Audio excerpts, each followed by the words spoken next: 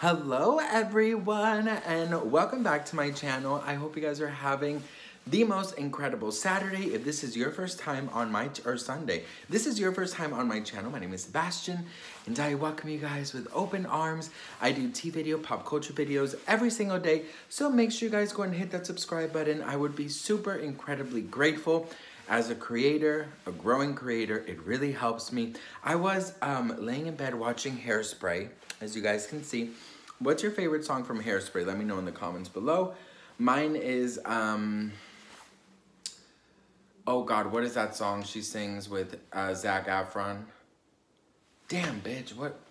Girl, now I have to find it. Anyways, while I find it, hello guys. I hope you're doing well. If this is your first time on my channel, I do videos every single day.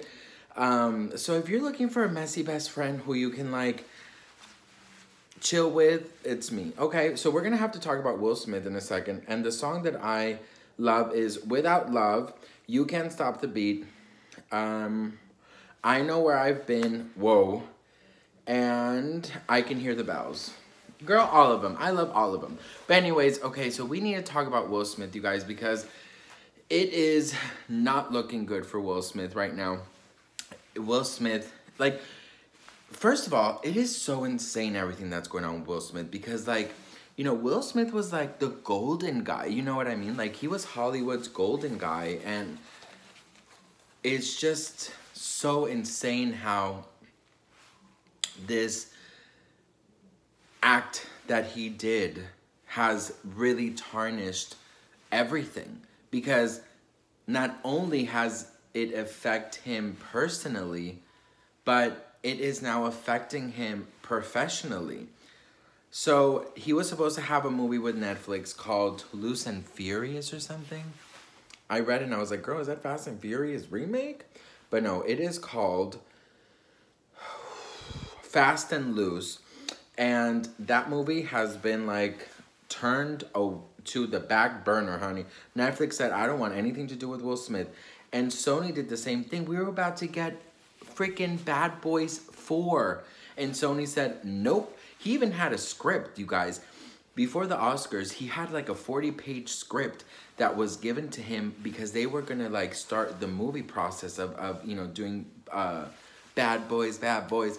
So it's just like, damn, you know what I mean? Like all of this upcoming projects, all of these big production companies, and like streaming services and like you know they're just like not wanting to you know have anything to do with Will Smith. Not only that, but it really feels like he is now getting blacklisted from a lot of Hollywood things. You know, he resigned from the Academy, so he can no longer be um, nominated for an Oscar. He can no longer attend. Like it has become so big, and he resigned himself before you know he would get kicked out. I think they gave him like that sort of uh, respect. But, you know, is there anything that could help him? Is there anything that could help him really just like do a 180? I truly believe that in the world of PR, the best thing that Will Smith can do is unfortunately the recipe that has worked in the past is you go away for some time and then you start the comeback trail. But I really think because Will Smith is Will Smith, that I think he should do something totally different. And I really truly feel like he, hang on. Oh, it's 11-11, make a wish. Okay. Um, I think that the best thing that Will Smith can do is set up, you know, there was rumors that Will Smith was to have Chris Rock at the um, Red Table Talk, you know, Jada's show. But I don't know if that's a good idea because right now, so many people are hating on Jada and they're basically blaming her for ending Will's career. But I'm so sorry, Will Smith is, you know, he's he's a he's a big boy. He chose to do this. Like Jada did not force him, put a gun on his head. You know, it just wasn't like that. So you can't sit here and blame Jada for his actions. Like that's not fair for Jada. But you know, there was rumors that she that they were gonna have Chris Rock in the Red Table Talk, and I honestly think that could be a really great idea if done right because right now, like I said, bitch, nobody likes Jada. Everyone's blaming her for ruining, you know, allegedly ruining Will Smith's career.